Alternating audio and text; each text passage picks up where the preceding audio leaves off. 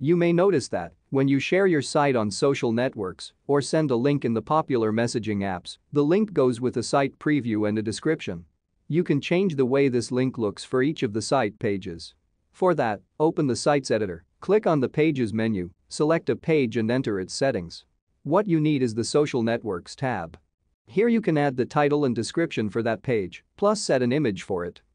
Repeat this action for all other site pages. Click Done and publish your website. Now, it's important to note that social networks may not update their information immediately.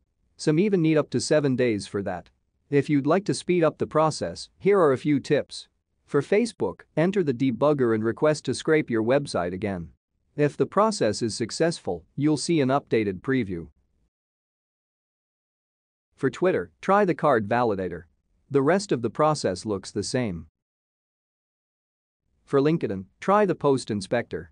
Most social networks have got similar tools to update the social preview info, so if you are struggling with a different platform, try searching for a scraping tool it provides.